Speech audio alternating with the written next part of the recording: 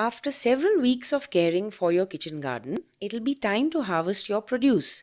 It's something each gardener looks forward to, and when we feel our efforts in the garden have finally paid off. But knowing when and how to harvest your vegetables or herbs can be confusing, especially if it's your first time growing something new. In this fifth and final session of the Anyone Can Grow AMA series, in collaboration with HasGeek, we discuss the best ways to harvest different vegetables. We also discuss succession planting, which is critical to ensure that your garden continues to be productive through the seasons and so your produce doesn't come to an abrupt halt. And finally, we'll talk about how you can add fruits to your harvest by growing fruit trees in pots.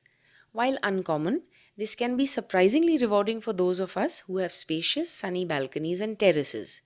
Make sure you join us for this session, which will be live on Thursday, 7th May from 4:20 p.m. to 6 p.m. Sign up for this session at hasgeek.com slash green-essentials.